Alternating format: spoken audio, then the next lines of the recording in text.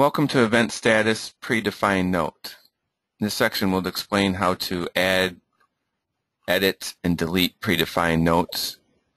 But first, let me explain what a predefined note is. So I'm in Homepage, Pending Client. If you see here, I have John Casey, Pending Client, and Note Required. So if I actually select on my status,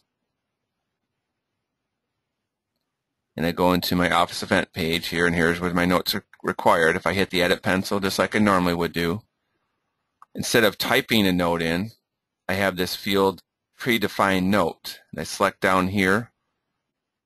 These are some common notes that we normally would do under pending. Uh, no money to pay or waiting on W-2. I select waiting on W-2. It'll automatically stamp date it and put the note in. So it's a quick and easy way of entering um, common notes that tend to happen over and over again. So instead of typing them all the time, you can just quickly select the note and have it pre-fill in. So let me show you now how to actually create these predefined notes. So I go to Admin, and I go to Event Status, and I'm going to select Business Type Tax Prep for this example, and fourth column over here we have this notepad with a pencil, and these are my predefined note icons. So I'm going to go down here to pending client right here and it's highlighted in orange. That means I actually have a note in the back here. Otherwise, I don't have any predefined notes on any of these other events. The only one I have it on is pending client right now. So I'm going to go ahead and select the icon. It's going to open up my predefined notes page. And here's the two you just saw under pending client. And I'm going to add one more. Common one is uh, typically missing the Social Security number. So I'm just going to put in here waiting on child's social security number. So that's the description.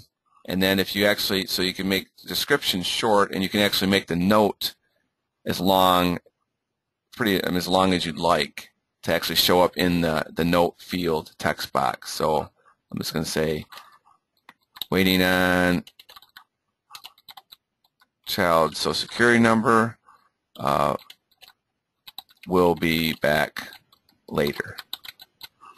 And then I'm going to go ahead and save it.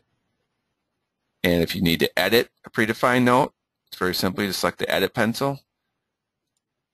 If you need to delete one, you just select the de delete and it'll be removed and the predefined note does not have an inactive button so you pretty much just delete the, the predefined note and it will no longer show up in the in the drop down once you create a brand new event. Um, and to add them, again, you just type a description in here and then enter exactly what the note you'd like to display. So it's a quick and easy way of entering notes. So it'll be very nice for people that aren't so fast on the keyboard. And that's all. Thank you.